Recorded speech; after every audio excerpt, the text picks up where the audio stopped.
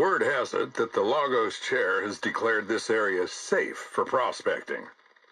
Seems kinda odd, seeing as it's been tagged a red site since that incident with the ACS. Just between us, I get the feeling that Largos is itching to expand the entire Icarus operation. Can't think of anything else that would have them open this place back up.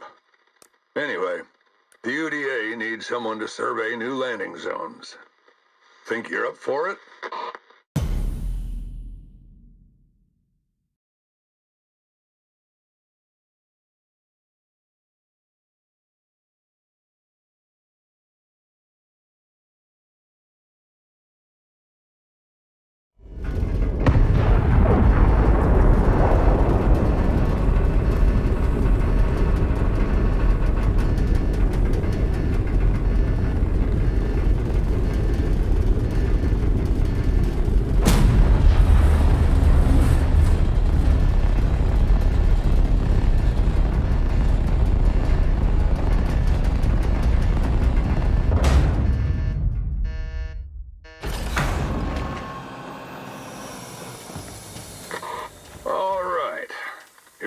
Equipment was loaded onto your dropship.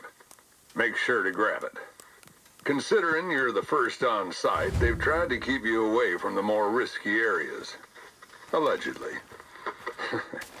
I'd still be cautious if I were you. Never know what's lurking out there. Okay, time to find some lovely spots for landing a dropship. Oh, uh, the UDA also requires you to clear the immediate area. Did I forget to mention that?